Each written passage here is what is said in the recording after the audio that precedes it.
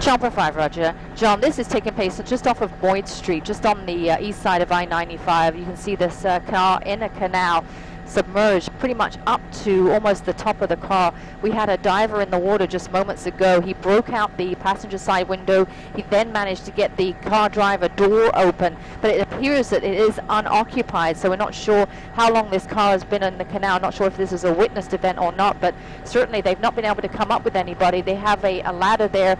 They also have a backboard ready just in case there was somebody inside the vehicle, but so far the diver has not been able to find anything, which I guess is good news. Not really affecting traffic here in the West Palm Beach area, but